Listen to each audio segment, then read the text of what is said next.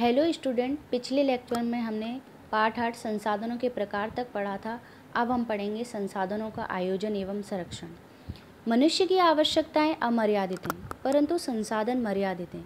लेकिन अगर मनुष्य की स्वार्थवृत्ति के कारण संसाधनों का उपयोग अधिक बढ़ गया है, अगर यही स्थिति रही तो भविष्य में इसके दुष्परिणाम मनुष्य को भुगतने पड़ेंगे।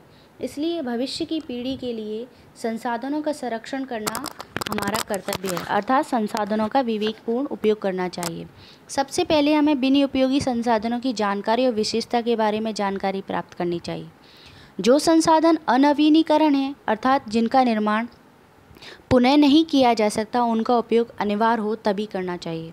संसाधन के संरक्षण के लिए आवश्यक कानून बनाए गए हैं, उनका अमल करना चाहिए। नागरिकों को संसाधन से जुड़ी प्रत्येक बातों से अवगत कराना चाहिए और लोगों में जन जागृति लानी चाहिए।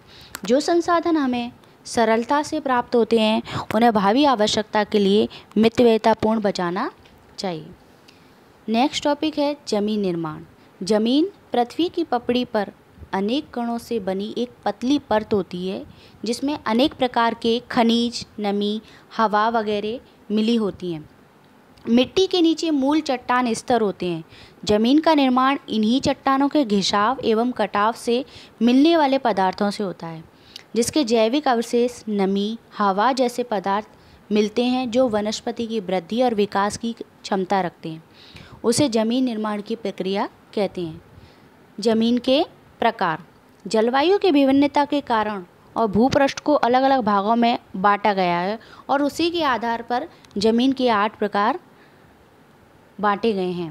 पहला है काँप की ज़मीन, दूसरा है लाल ज़मीन, तीसरा है काली ज़मीन, चौथा है लेटेराइट ज़मीन, पांचवा है रेगिस्तानी ज़मीन, छठवा है पर्वतीय ज़मीन, सातवां है जंगल प्रकार की ज़मीन, आठवां है दलदली अर्थात पिट प्रकार की ज़मीन। पहली, काँप की ज़मीन। काँप की ज़मीन भारत के कुल क्षेत्रफल 43 परसेंट क्षेत्रफल पर फैली हुई है। इसमें महानदी गोदावरी, कृष्णा, कावेरी घाटों के क्षेत्रों में यह नदी ज़मीन आई हुई है। काँप की ज़मीन का निर्माण नदियों के द्वारा निपेक्षित काँप का आभारी है। इसी ज़मीन में पोटास, फॉस्फोरेट एसिड, चूने का प्रमाण अधिक दिखाई देता है, जबकि नाइट्रोजन और नमी की मात्रा कम प्रमाण में देखने को मिलती है। इस प्रकार की ज़मीन में गेहूँ, धान, गन्ना, कपास, मकई, तिलहन आदि फ़सलें ली जाती हैं। सेकंड लाल ज़मीन।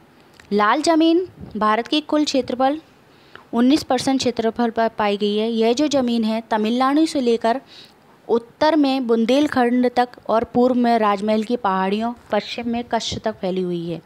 इस प्रकार की ज़मीन में फेरिक ऑक्साइड की उपस्थिति के कारण इसका रंग लाल होता है। इस ज़मीन में मैग्नीशियम, फास्फेट, नाइट्रोजन, पोटास की कमी दिखाई देती है।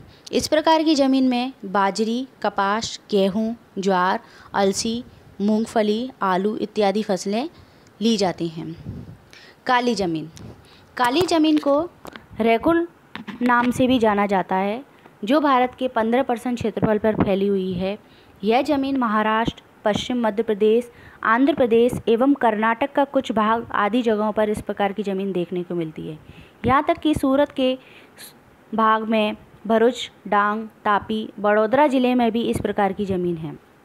इस प्रकार की ज़मीन में लोहा, चूना, कैल्शियम, पोटास, एल्यूमिनियम और मैग्नीशियम कार्बोनेट का प्रमाण अधिक दिखता है। इसका उपजाऊपन अच्छा माना जाता है, क्योंकि इस ज़मीन में नमी संग्रह शक्ति काफ़ी अधिक है। जब नमी सूख जाती है तो इसमें दरार और भंग भंग बन जाती है, जैसा कि आप चित्र में देख रहे हो। इस प्रकार की ज़मीन में कपास, अलसी, सरसों, मूंगफली, तंबाकू, उड़द जैसे दलहन वर्ग की फ़सलें ली जाती हैं। चौथी है लेटेराइट ज़मीन। इसे हम पड़खाऊ ज़मीन के नाम से भी जानते हैं। इसका लाल रंग लोह ऑक्साइड के कारण होता है। यह ज़मीन सूखी एवं नमीयुक्त जलवायु के परिवर्तन से और सिल्का में पदार्थों के निवारण से इसका निर्माण हुआ है। यह ज़मीन भारत के द्विकल्पी पठारी प्रदेशों के ऊंचाई वाले भागों में विकसित होती है। इस ज़मीन में लोह तत्व, पोटास, एल्यूमिनियम का प्रमाण अधिक होता है। यह ज़मीन कम उपजाऊ होती है, लेकिन इसमें खाद डालकर कपास, धान, रागी, गन्ना, चाय, कॉफ़ी, काजू आदि की फ़सलें ली जाती हैं। पांचवी प्रकार की ज़मीन है, रेगिस्तानी प्रकार की ज़मीन। जो यह ज़मीन शुष्क एवं अर्ध शुष्क वाली ज़मीन पर पाई जाती है। यह ज़मीन रेतीली एवं कम उपजाऊ वाली होती है।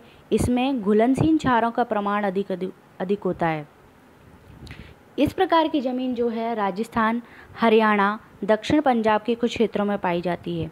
गुजरात में इस प्रकार की ज़मीन कच्छ एवं सौराष्ट्र में है। सिंचाई की सुविधा से इसमें बाजरी, ज्वार की फ़सलें ली जाती हैं। पर्वतीय ज़मीन। यह ज़मीन हिमालय की घाटियों एवं ढलानों के क्षेत्रों में 2700 मीटर से 3000 मीटर तक की ऊंचाई पर पाई जाती है। यह असम, दार्जिलिंग, उत्तराखंड, हिमाचल प्रदेश एवं कश्मीर में आई हुई है। हिमालय के समान ऊंचाई भागों में देवदार, चीड़ एवं पाइन के वृक्ष वाले क्षेत्रों में इस प्रकार की ज़मीन देखने को मिलती है।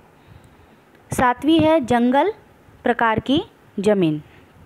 इस प्रकार की जो ज़मीन है, हिमालय के शंकुद्रुम वनों में तीन हज़ार मीटर से लेकर इकतीस हज़ार मीटर की ऊंचाई के बीच सरहादी, पूर्व घाटी, मध्य हिमालय के तराई वाले क्षेत्रों में है। वृक्षों के गिरे हुए पत्तों से भू सतह ढकी रहती है और ये पत्ते सड़ने पर सेंद्रीय पदार्थों का प्रमाण बढ़ने लगता है। ज़मीन का ऊपरी जो स्तर होता है, वो काला बना होता है और ज़मीन का जो निचली स्तर होता है वह नीले और लाल रंग में बदल जाता है। इस ज़मीन में चाय, कॉफ़ी, गरम मसाले, इसके उपरांत गेहूँ, मक्का, जौ, धान इत्यादि फ़सलें ली जाती हैं। यह ज़मीन अत्यधिक मर्यादित क्षेत्रों में देखने को मिलती है। दलदलीय या पिट्ट प्रकार की ज़मीन। इस प्रकार की ज़मीन नमी वाले क्षेत्रों में जैविक पदार्थों के संचय से विकसित होती है। वर्षा ऋतु में यह ज़मीन पानी में डूबी रहती है और पानी उतरने के बाद इसमें धान की कृषि की जाती है। इस प्रकार की ज़मीन में जैविक पदार्थ एवं क्षारों की बहुलता तथा फास्फेट एवं पोटास की कमी होती है। यह ज़मीन पश्चिम बंगाल, उड़ीसा, तमिलनाडु के किनारे भागों और उत्तर बिहार का मध्य भाग, उत्तराखंड के अल्मोड़ा ज़िले में पाई जाती है। इस ज़मीन का क्षेत्र भी मर्यादित होता है। नेक्स्ट टॉपिक है ज़मीन का कटाव। ज़मीन का कटाव, ज़मीन के कणों का हवा एवं पानी द्वारा एक स्थान से दूसरे स्थान पर स्थानांतरित होना। दूसरे शब्दों में कहें तो हम ज़मीन के उपजाऊ तत्व अर्थात प्राकृतिक जो कारक होते हैं, हवा और अत्यधिक वर्षा के कारण दूसरे स्थान पर स्थानांतरित हो जाते हैं, जिससे कृषि का उत्पादन घटता है। अर्थात कृषि के अत्यधिक उत्पादन के लिए इन प्राकृतिक कार्यों का होना अत्यधिक आवश्यक है, इसलिए ज़मीन के कटाव को हमें रोकना चाहिए। ज़मीन पर चराई प्रवृत्ति को नियंत्रण में लाना चाहिए, जिससे ज़मीन के कटाव को रोका जा सके। दूसरा है, ढलान वाली ज़मीन पर सीढ़ी नुमा प्रतिरूप बुआई करनी चाहिए। जैसा कि आप चित्र में देख रहे हैं कि पहाड़ी प्रदेशों में जो खेती की जाती है, क्योंकि वहाँ वर्षा अधिक होने के कारण सारी ज़मीन मिट्टी का कटाव होने लगता है। इसलिए वहाँ पर सीढ़ी नुमा खेती की जाती है। थर्ड है, पानी के बहाव को रोकने रोकने के लिए मेड़बंदी बनानी चाहिए। गाँव में पानी के बहाव को रोकने के लिए चारों तरफ़ खेत के मेड़बंदी बनाई जाती है। भूमि संरक्षण।